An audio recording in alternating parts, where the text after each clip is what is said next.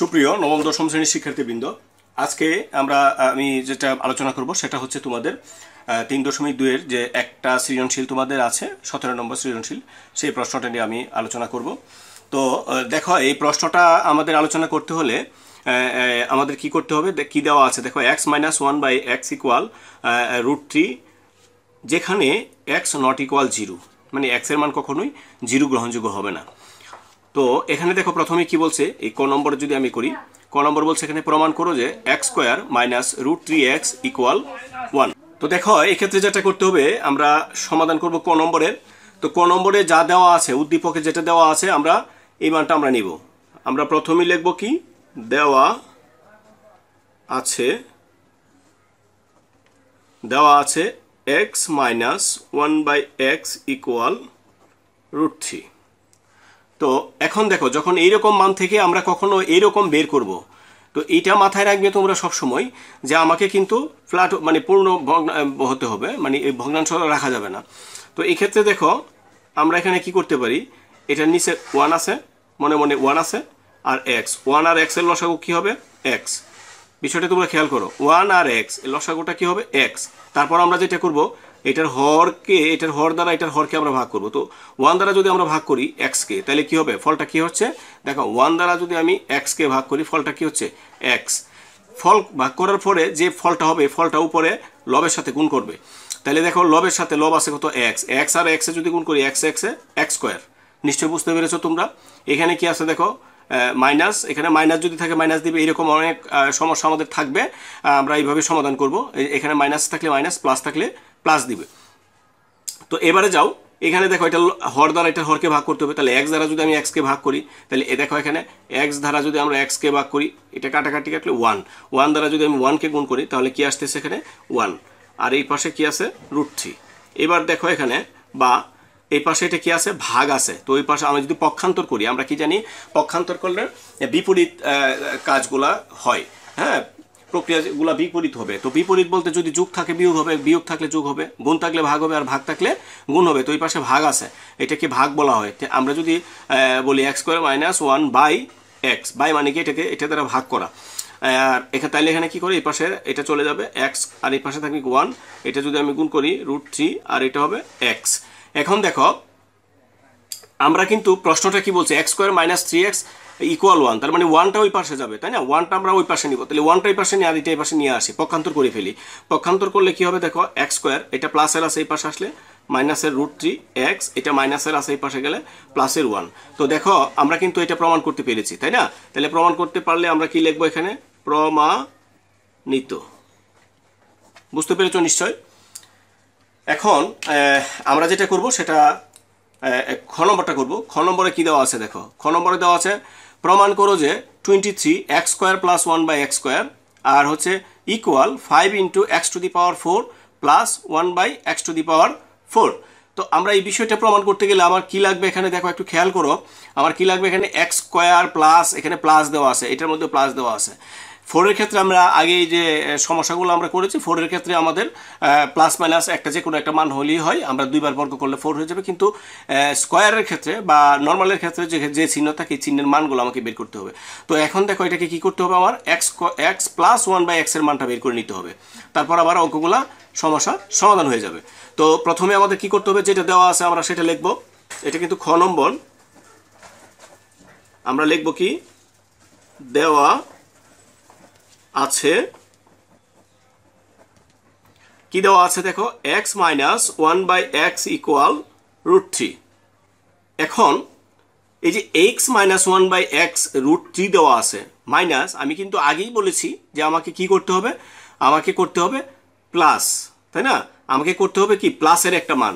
তো প্লাসের মান যদি করতে পারি, আমরা আগে প্রিভিয়াস যে অঙ্কগুলো করেছি, সেগুলোর ক্ষেত্রে দেখেছি আমরা এই এ প্লাস বি হোল স্কোয়ারের সূত্র বসায় করতে পারি, বা A square plus B square বিভিন্নভাবে করা যায়। তো আমরা কি করব এখানে? ওই স্কোয়ার প্লাস বি স্কোয়ার যেটা ডিরেক্টলি আমরা এই মানটা বের করে ফেলব। বুঝতে পেরেছ নিশ্চয়?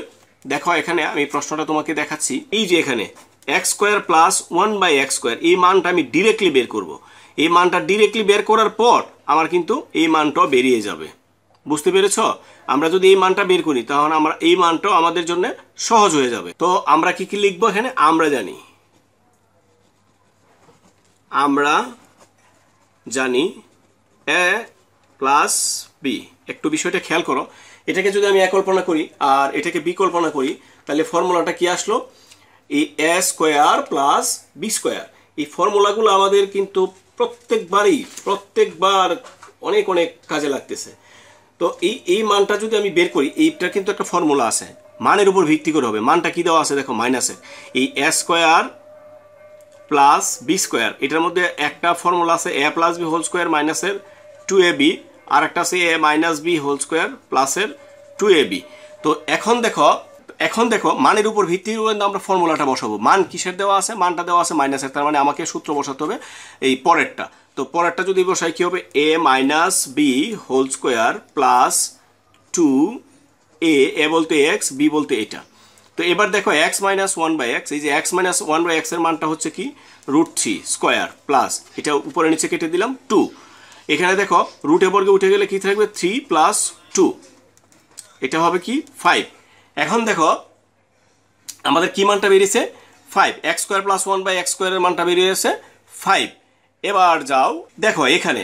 আমার আর একটা কি লাগবে? X to the power four plus one by X to the power four এই মানটা লাগবে। এই মানটা বের করার পর আমি বাম পক্ষ আর ডান পক্ষ দুইটা পক্ষকে আমি প্রমাণ করতে পারি। তো আমি কি বলছিলাম?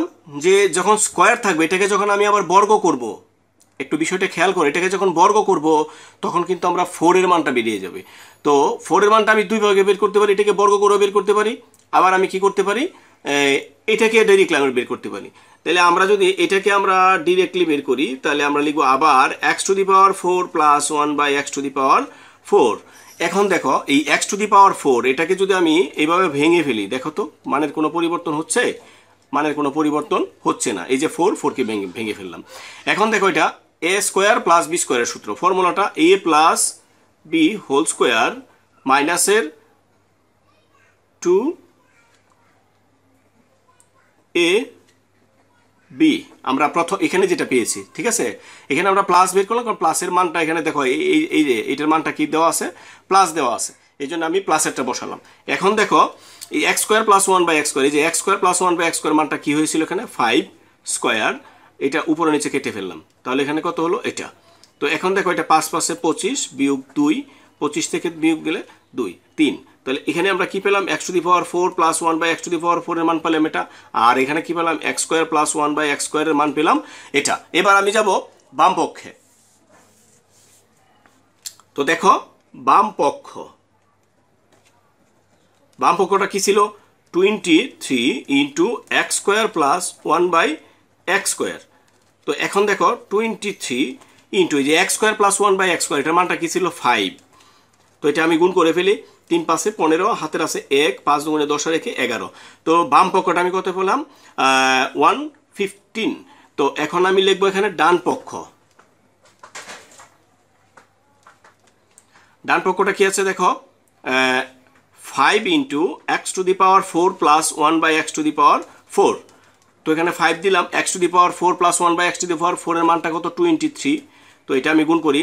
তিন পাশে পনেরো, হাতের আছে এক, পাঁচ দুগুণে দশ রেখে এগারো। তো দেখো, বাম পক্ষ সমান ডান পক্ষ। আমরা কি এটা প্রমাণ করতে পেরেছি যে এখানে কি আছে? এখানে আছে বাম পক্ষ ওয়ান, ফিফটিন, আর এখানে আছে কি? আর ডান পক্ষ, ওয়ান, ফিফটিন। তাহলে আমি লিখব সুতরাং বাম পক্ষ সমান ডান পক্ষ।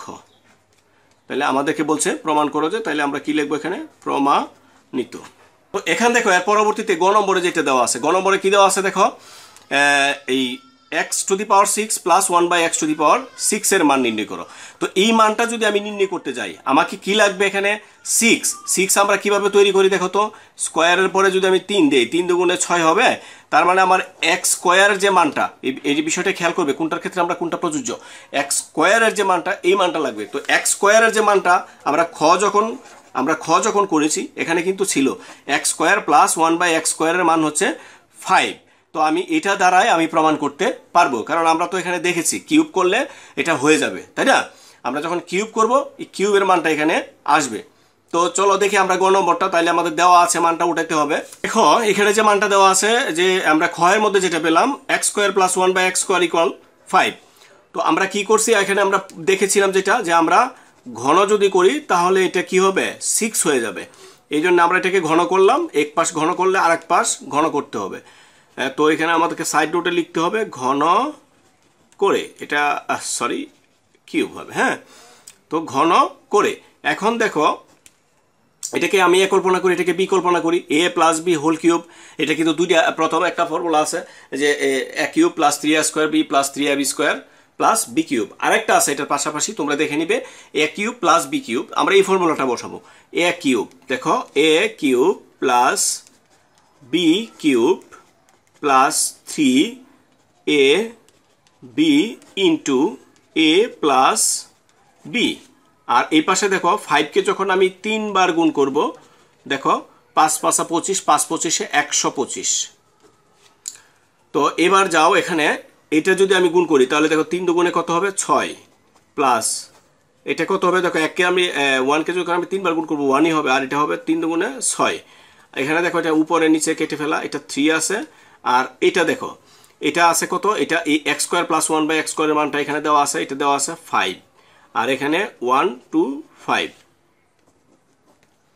x to the power six plus one by x to the power six এবার দেখো ওয়ান টু ফাইভ এটা প্লাসের আছে। বিপারে গেলে কি হবে? পক্ষান্তর করলে প্লাসেরটা মাইনাস হয়ে যাবে। মাইনাস কত হচ্ছে? তিন পাশে পনেরো।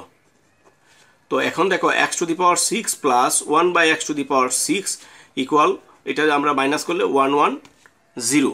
তো এটা কিন্তু আমাদের ওই মান হচ্ছে গ নম্বরের। তো আমরা কি লিখতে পারি? সুতরাং নির্ণেয় মান ওয়ান ওয়ান জিরো।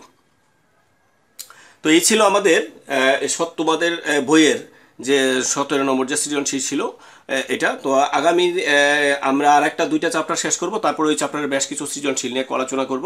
আশা করি তোমরা আমার সাথেই থাকবে এবং পরবর্তী ভিডিও দেখার আগ পর্যন্ত তোমরা সুস্থ থাকবে এবং বারবার প্র্যাকটিস করবে। তাহলে আজকে এখানে বিদায় নিচ্ছি। ধন্যবাদ সবাইকে।